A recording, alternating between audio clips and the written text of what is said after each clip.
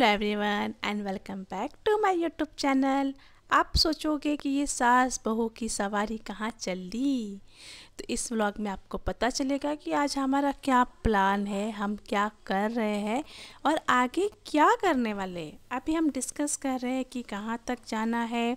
हम पैदल जा रहे हैं क्योंकि सड़क बन रही है, गाड़ी नहीं जा सकती है तो हमें पैदल जाना पड़ रहा है। और मैं मम्मी को बता रही हूँ कि कहाँ से कितनी सड़क बनी है।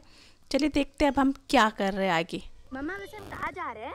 हम लोग करेला खरीदने जा रहे हैं। क्यों? आज दादी सब्ज़ी बनाएँगी। दादी आई है दादी का क्या? भरुआ। भरुआ। ब्लॉग बनेगा क्या उसका?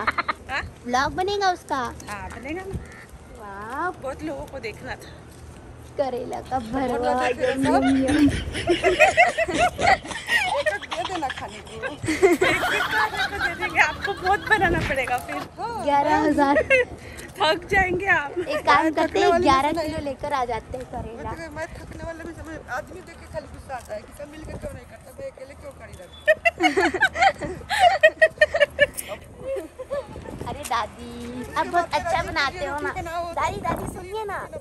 कोई दूसरा हाथ लगा देता है ना तो उसका स्वाद चले जाता है दादी। इसीलिए सब आपको करने बोलते हैं। तो अब तक तो आप सभी लोग जान चुके होंगे कि हम तीनों मिलके जा रहे हैं शॉपिंग करने करेले की।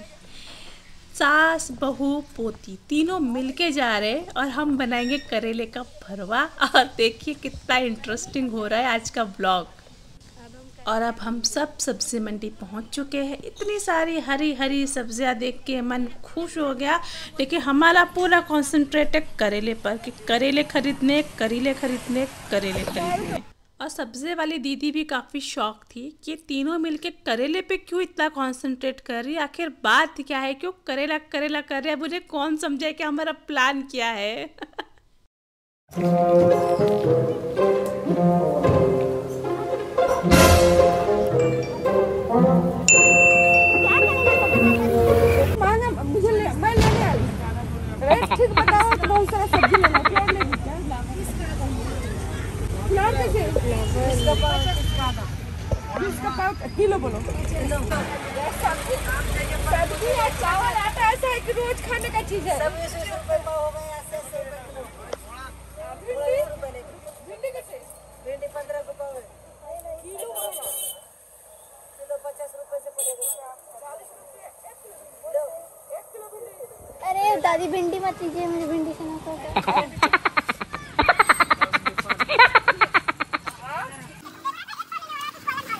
और उसके बाद गुनगुन बिल्कुल चुपचाप हो गई।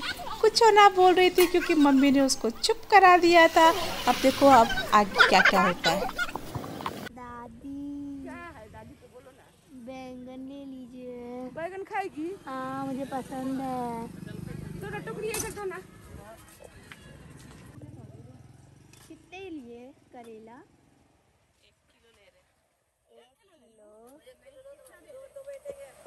एक निकाल दो बड़ा वाला पीला हुआ है बड़ा वाला निकालो। दादी को सब्ज़ी की बहुत ज़्यादा जानकारी है हाँ? कौन सा पीला है कौन सा हरा है?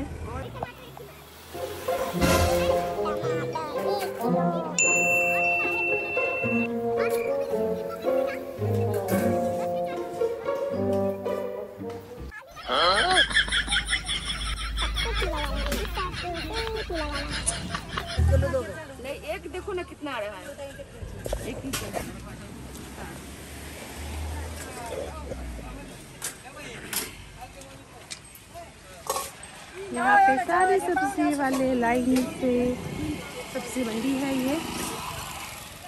हमारे एरिया की। अरे सुंदर है।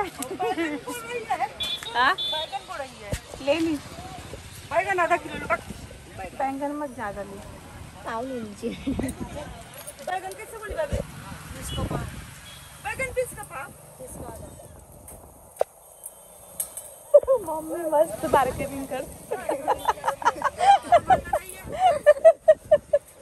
मम्मी के साथ शॉपिंग करने में बड़ा मज़ा आता है।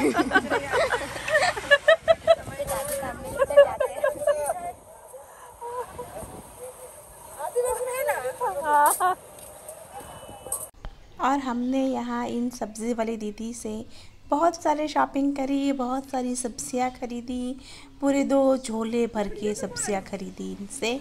और ये दीदी भी काफ़ी खुश थी कि उनकी अच्छी बिक्री हो गई। और हम भी काफ़ी खुश थे, हमने बहुत इंजॉय भी किया। सब्ज़ी खरीदते हुए मम्मी के साथ बहुत मस्ती भी करी, सारी सब्ज़ियाँ भी खरीद कर हो गई, हमारी वॉकिंग भी हो गई आउटिंग भी हो गई इंजॉय भी हो गया। मम्मी के साथ जब भी रहते हैं तो बड़ा मज़ा आता है। मम्मी को प्यार बहू है है। मम्मा आपको सच में प्याज लेने नहीं आता।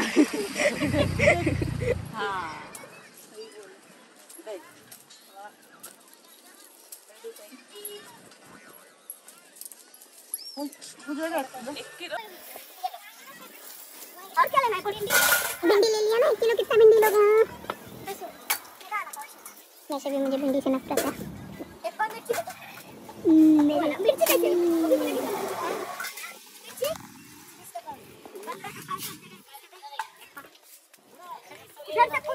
फाइनली सारे सब्जियों का दाम काउंट किया जा रहा है। दादी मैथमेटिक्स में प्रो है। इतने जल्दी जल्दी सब काउंट कर लिया। आंटी गलत दाम भी बता रही थी कभी कभार तो दादी ने सही दाम बताया I am proud of you दादी।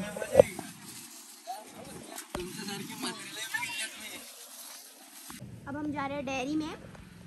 दही अब ऋषभ हो रहा है कि आज कड़ी बनने वाला है क्यों आज कड़ी बनने वाला है क्या? हाँ। सब्ज़ी मंडी में इतना ज़्यादा एंजॉय करने के बाद अब हम डेयरी में आए अब देखिए यहाँ क्या होता है।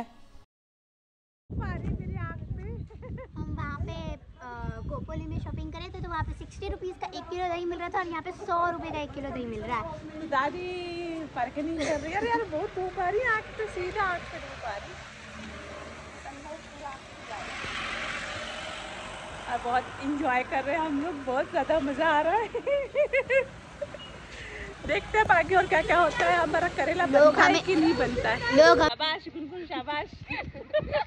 गुनगुन इतना सामान उठा के चल रही मैं पाँच पाँच किलो का आटे का पूरी नहीं दस दस किलो का आटे का पूरी पूरा सीढ़ी चढ़ के रखती हूँ तो इसमें सी बड़ी बात है? वाह वाह गुनगुन वाह। तो फाइनली हम घर पहुँच चुके हैं और ये मम्मी यहाँ पे ही रिलैक्स कर रही है। सामने घर है बट नहीं हम तो यहाँ रिलैक्स करेंगे। ये रो रही है क्योंकि हम इसको छोड़ के चले गए थे। भाई तू ट्यूशन गई थी तो उसमें हमारी क्या गलती है? दादी मम्मी बताइए हमारे पास गाड़ी थी तो हम पैदल क्यों गए थे? रोड बन रहा है।